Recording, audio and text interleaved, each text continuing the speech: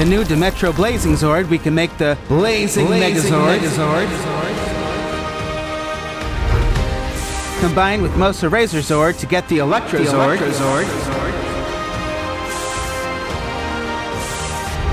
Combined with T-Rex and Mosa Razor to get the Fusion Ultra Fusion Zord. Ultrazord.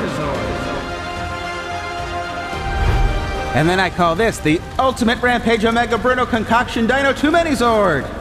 Maybe that name needs a little bit of work. Hey guys, my Dimetro is here. I think I can make a bigger thing than that. Let me try again.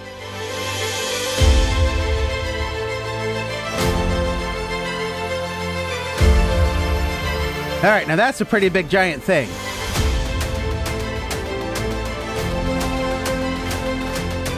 All right, what do we call this formation? I think I used up all my, my words on the other one. I guess you guys will have to tell me in the comments. Okay, watch this. Who can tell me what they think is going on here? Did everybody guess when the mouth opens it's the American version and with the mouth closed it's the Japanese version? They look really similar, don't they? The gold paint on the Japanese version is more sparkly and there are more paint apps. Hasbro's has more details, comes with more accessories, the mouth can open. We've still got all of the translucent orange. I think in a lot of ways Hasbro's kind of the winner.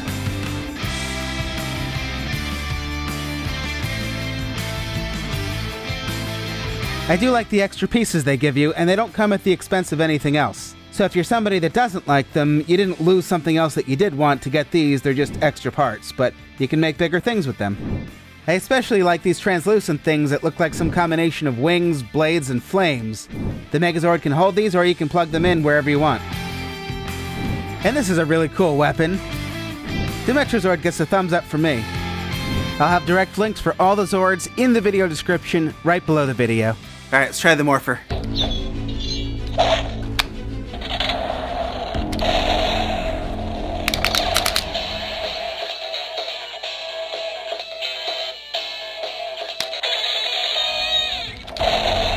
I think it's the same as the Red Ranger, right? It works, it's fire. Yeah, same as red. And then we'll switch over to turtles real quick. I found a few more figures at Target. I found Dirk Savage, the mutant hunter. That was a really exciting episode for me because I always love whenever my toys appear as characters on the show. And that had Mondo Gecko, which is one of my favorites, as well as the frogs. And it also had Tokka and Rahzar from the movie. Uh, they made characters based on the toys, which was really cool. That makes sense. Actually, let me explain that better. So, in the movie, The Secret of the Ooze, this is what Tokka and Rahzar looked like. And then at the time, Playmates made movie toys, and this is what they looked like in toy form. And then unexpectedly, they showed up in the TV show as cartoon characters, and clearly it was the toys that were referenced for the animation, not the movie suits. Dirk Savage is part of a two pack, which also includes Mona Lisa, and she was one of my favorite figures as a kid, too. So when I took my frogs out for this video, I realized their legs were very loose. When I tried to stand them up, their feet just wanted to spread apart. That's no good if you want them to stand up. Well, in this video, it might appear that only one of them has that issue, and that's because I fixed one already. Now, I know some people feel you shouldn't have to do this, but what are your options? Either your frogs aren't going to stand up, or you can fix it. So, here's how I did it. I was just going to say there will, of course, be a direct link in the video description, but for some reason, this stuff is a fortune right now. I'll still link to it so you can see what it is and, you know, check your local stores, but for some reason it's really expensive. But uh, if anybody else has something they use that's less expensive, feel free to, to mention that in the comments. But I just use a little bit and then wipe it away, and then when it's dry, your figure should not be loose anymore. If any of your Dino Fury Zords are doing that, you can do the same thing with them.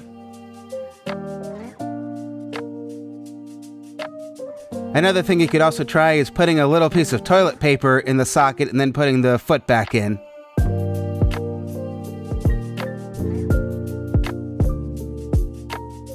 That's pretty amazing. I couldn't get him to stand up when I first took him out of the box. Now I can't get him to fall down. Come on. Come on. Okay, there we go. And I've also been using my hairdryer trick in all the recent NECA figures I've been showing. These are good things to know if you have a lot of figures. Alright, I'm getting in here. Thank you guys for watching. Good night. For trivia, in Power Rangers Dino Fury, who created the android Jayborg? True or false, the Power Rangers Dino Fury Rangers fought Lord Zedd. Alright, more good stuff coming. Make sure you're subscribed. See you in the next video.